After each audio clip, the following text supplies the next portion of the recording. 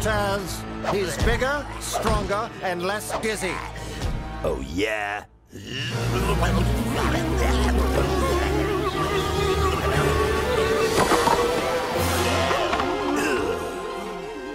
Now it's fair fight.